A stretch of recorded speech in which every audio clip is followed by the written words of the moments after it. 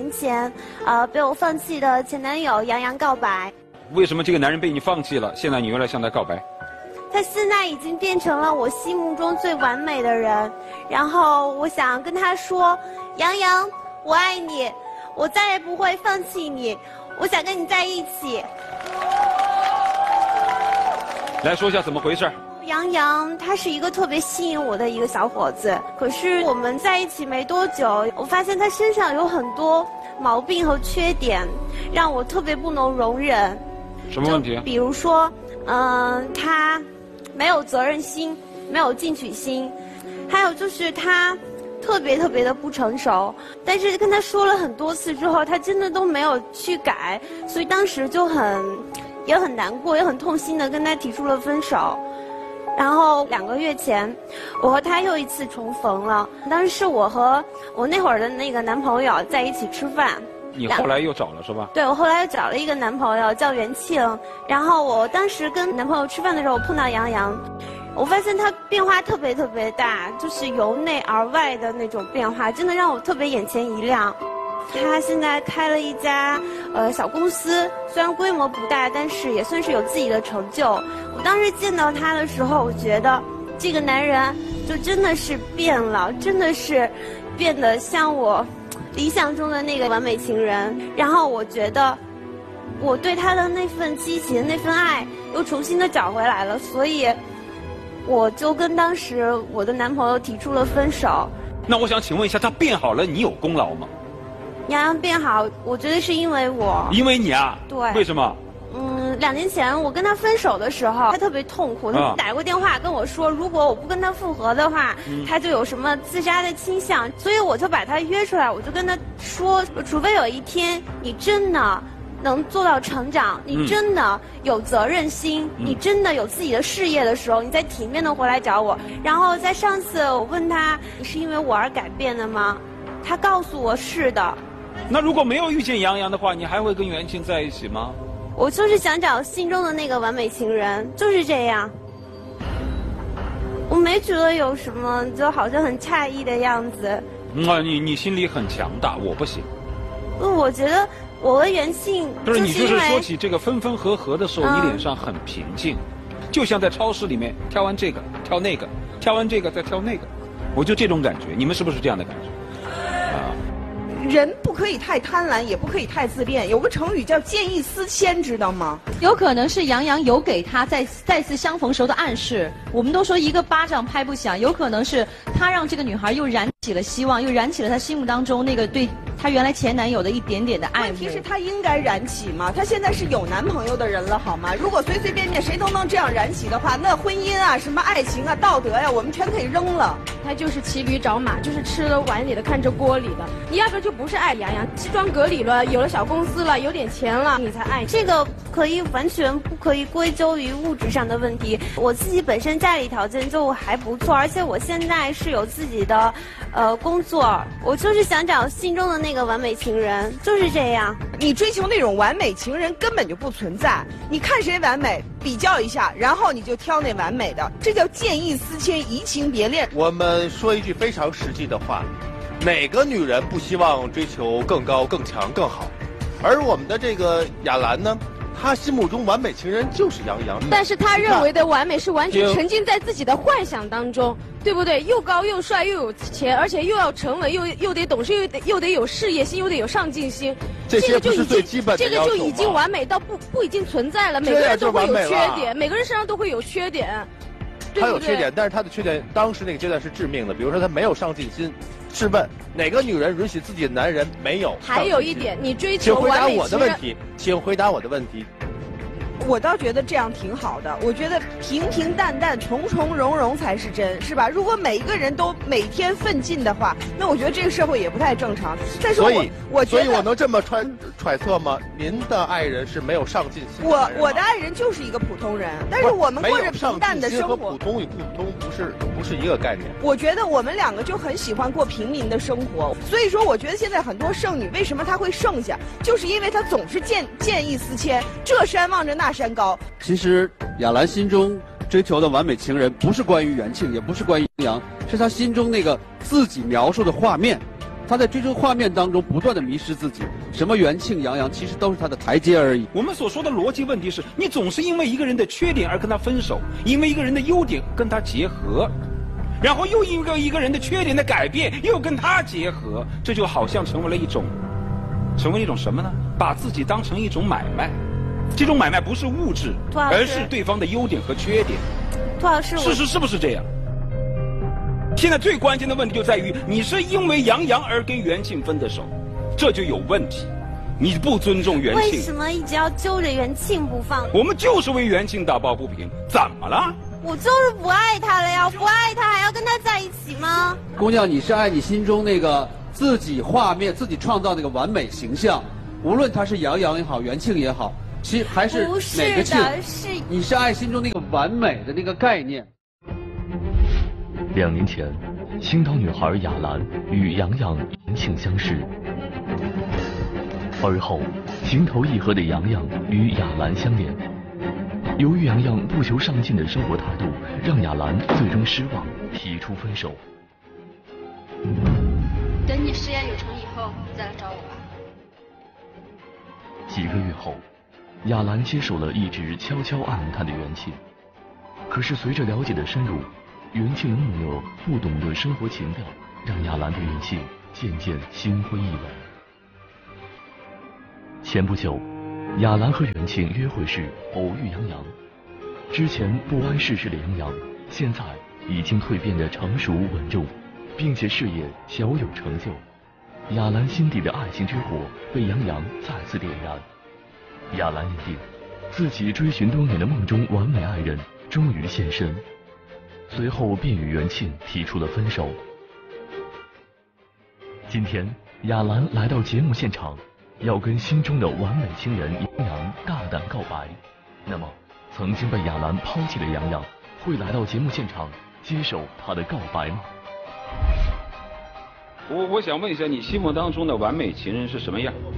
高大、帅气、有自己的事业。谁有？他们俩谁有？都有。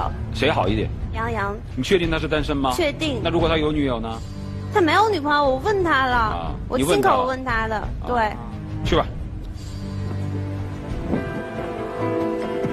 啊，我问一下你啊，如果杨洋今天不来，你怎么办？他因为我而变成现在这样，因为我的一句话变成这样，他怎么可能问题就出在这儿，凭什么你说你能你就能，你说你不能你就不能，你来你就来，你不来你就不来呢？他今天就不来，你怎么样？他一定会来。如果他来了，说他不爱你呢？不会，不会是吧？还是不会，我想象不到。哎呀，一个人要是太过自信，就死到临头了。如果他真的那样，那那他爱谁呀？如果杨洋和袁庆都来了，杨洋说他他怎么可能来？我也没有告诉他我要过来呀。这个门很神奇的，总总有人会经常主动找到我们，你懂吧？再加上他们俩又是朋友，如果袁庆和杨洋都来了。杨洋说：“虽然你激励了他，有他今天的成就，但是呢，他已经有女朋友。”而袁庆说：“他还愿意原谅你，继续跟你在一起。”你会做出什么样的选择？首先，这事情不可能发生，因为我之前我亲口向杨洋证实过，我问他你有没有女朋友，杨洋他亲口告诉我，他摇着头告诉我没有。我只是给你猜测一下，好吧？来，让我一起倒数五个数：五、四、三、二、一，请按键。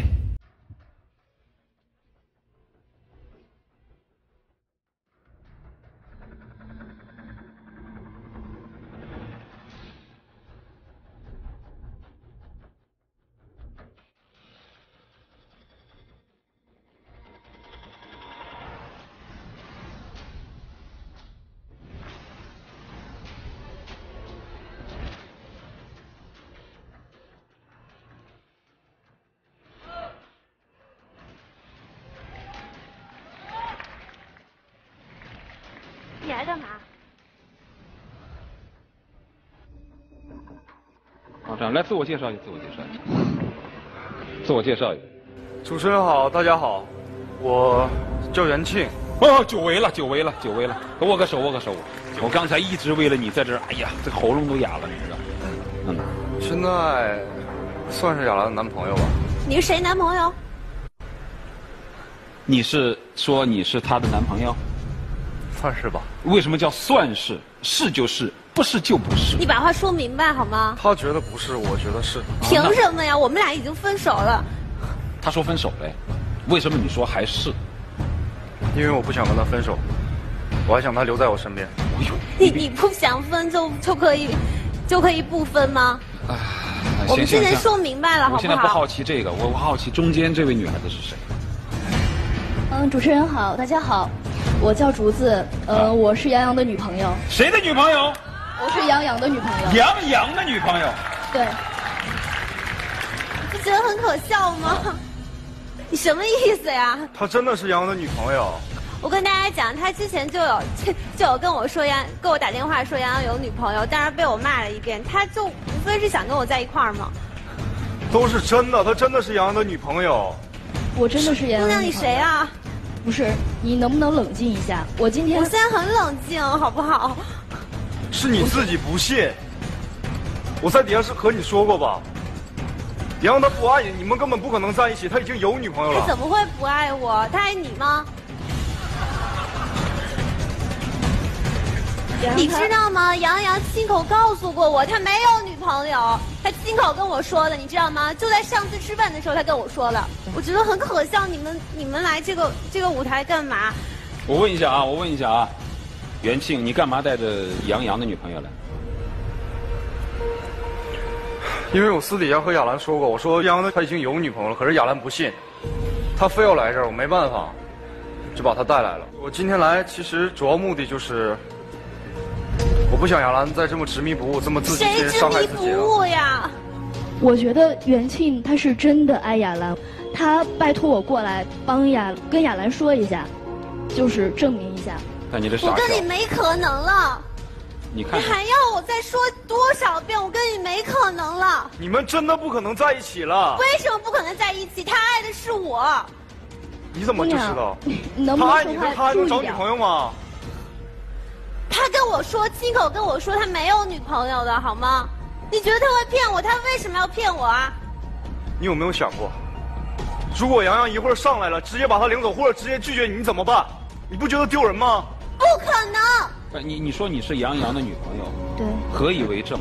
我来到现场，我为了他来，我就是证明。啊，嗯。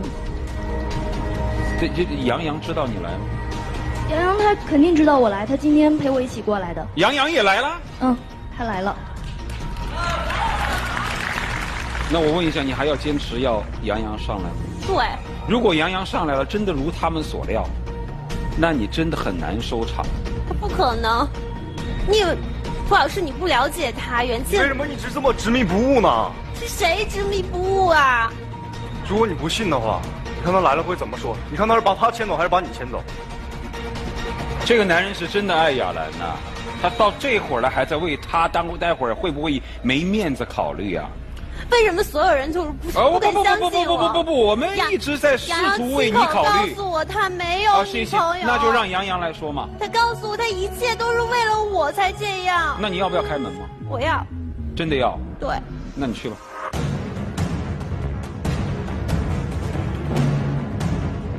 我再确切的问你一次，真的要开啊？对。无论什么结果。对。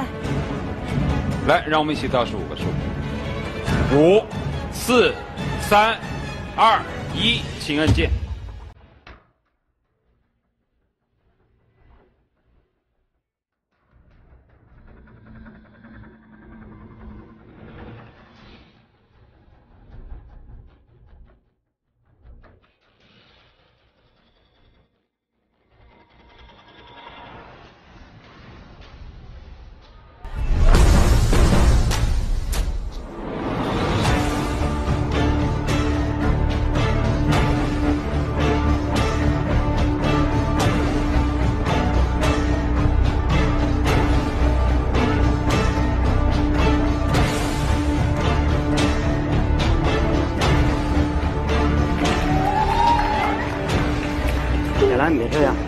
先把手松开，亚兰。亚兰，你先把手松开，冷静一下，冷静一下，冷静一下。你先冷静一下。我都说了，你别这样，她是他女朋友。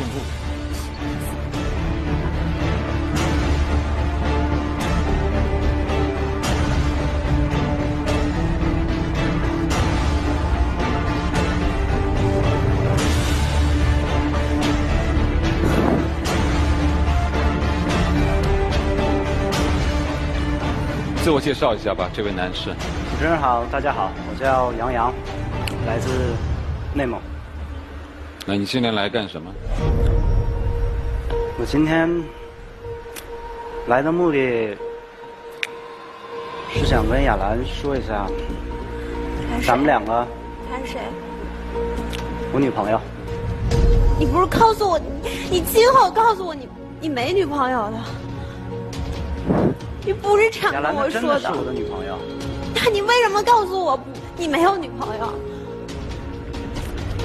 你为杨洋说清楚为什么之之前要说自己没女朋友？你为什么告诉我你没有女朋友？你要是告诉我了，我也不会来这儿丢人现眼。你你告诉我。真的很对不起亚兰，我当时我我也不知怎么，脑子一热吧。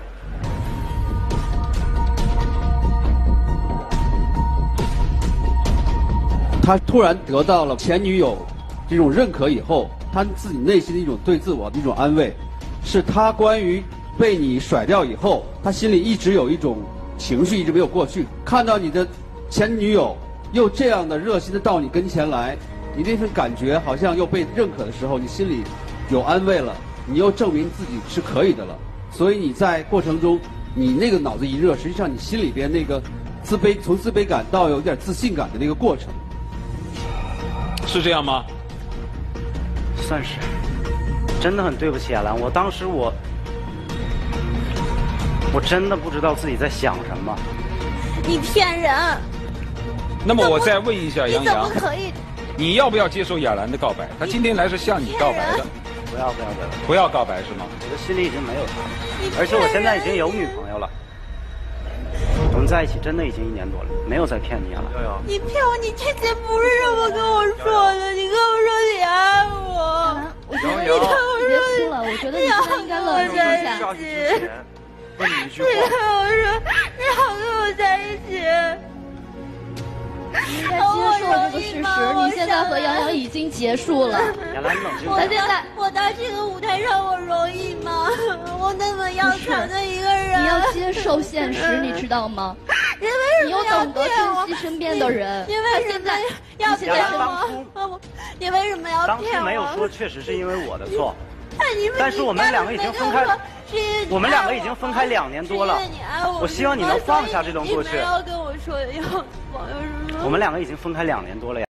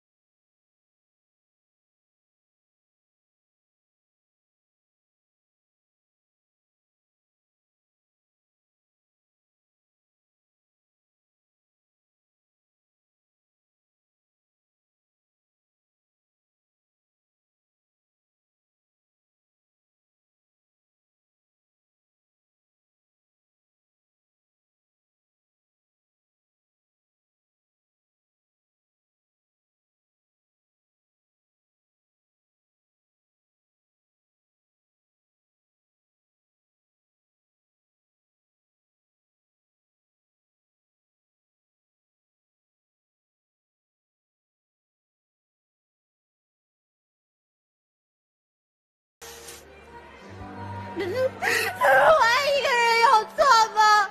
我觉得一个女孩如果有一个男生，他愿意为你站在这个舞台上，你就应该接受他。小兰，我希望你能好好把握自己的幸福，也希望你能祝福我和竹子吧。你们走，你们走，不要对不起，亚兰。你们让我来救。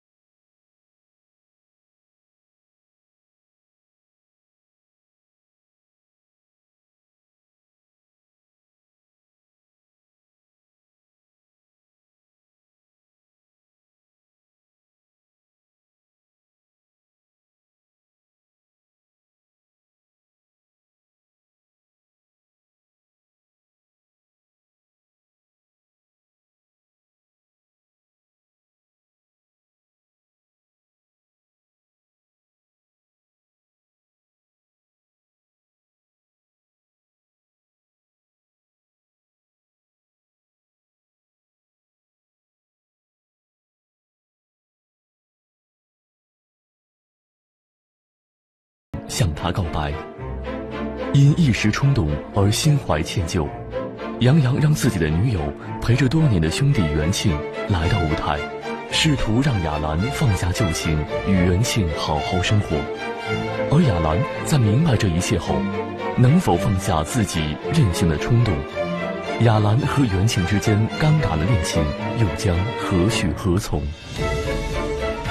你也看见了，他不可能带你走的，他已经走了，他领的是他的女朋友。你们为什么要我进我来骗我？老师可以留点时间吗？你们为什么要骗我？想跟他告白是吧？我这个手机号。我做错什么要骗我？我不就是真心爱一个人吗？亚兰，你愿意接受袁静的告白吗？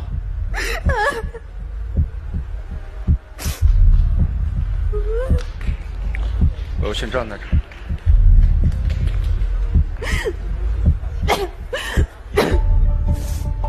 亚兰，我能跟你说句话吗？能转过来吗？亚兰，这边，这边，这边。其实我最懂你，你心里啊一直有杨洋，但现在呢，你尝到了一个什么自己酿的苦果呢？当时你怎么甩的杨洋？杨洋当时被你选。甩的感受就是你现在。当然我没有骗他，我还是爱他，我是因为看不到未来，我是被逼无奈，我才跟他分手。不能跟一个无所事事的人。我问你，我问你，我问你，我问你，你别哭了。杨洋走的时候说了一段话，你可能没听太清。杨洋说：“其实我跟过去没有太大的改变，但是你和竹子。”唯一不同的一点就是，竹子包容他的这些你所谓的不上进。那我想请问一下你，同样是两个男人，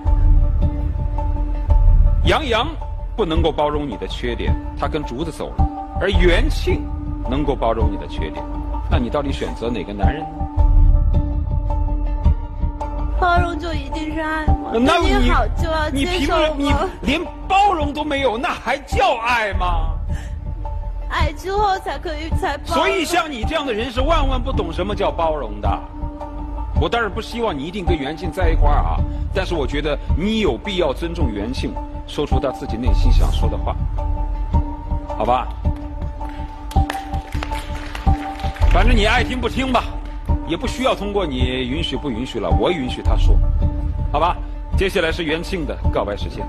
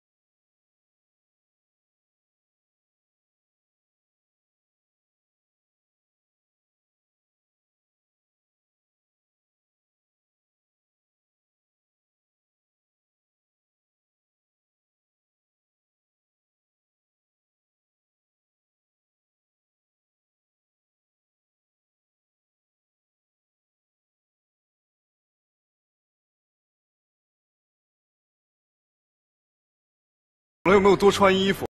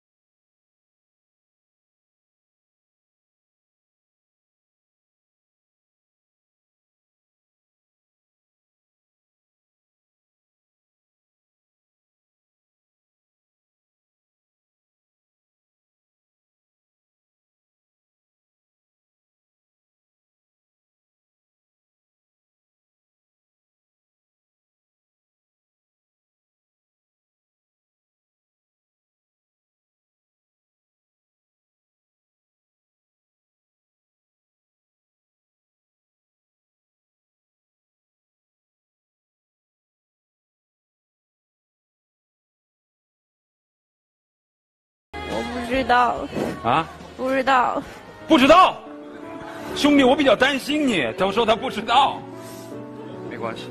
我觉得，不管他怎么选择，我都愿意跟他在一起。否则我今天就不会来了。不要着急，马上就在一起。你们可以现在手牵手走出去，但是给各自一些时间想一想，你爱元庆身上哪一点？这样是对自己尊重。呃，其实我清楚的知道他爱元庆哪一点，他爱元庆，爱他这一点，所以说我给他们的祝福就是元庆，珍惜你和他在一起的每一天吧，呃，每一天都可能是最后一天。元庆，我觉得我很佩服你的勇气，但是我希望备胎的日子在你的人生中只有一次，不要再有第二次了，很悲惨。呃，元庆啊。如果真的被嘉宾们不幸言中，这个姑娘真的哪天她又不爱你，她又跟你说分手，你会怎样？我不知道以后我会怎么决定，但是现在我会说，我愿意。我们说，一个人如果要真的想过得好，就一定要尊重自己曾经受到过的痛苦和羞辱。如果自己永远不把曾经受到过的羞辱和痛苦当回事儿的话，那我只能说这个人并不是包容，不是执着，而是好了伤疤忘了疼。好吧。老师，我还想说一句话。你还想说什么呢？亚兰，就算你哪天又想不开，又要走了，我还是会等你回来。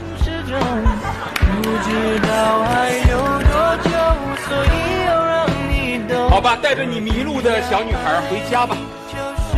好吧，祝你们幸福。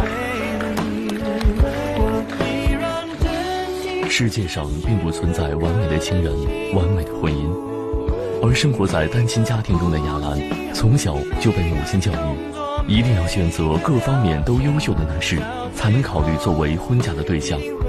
寻找完美情人，成为了亚兰恋爱最大的障碍。然而，就像元庆告诉亚兰一样，两个人能一生陪伴，才是完美的爱情。其实，爱就在亚兰的身边。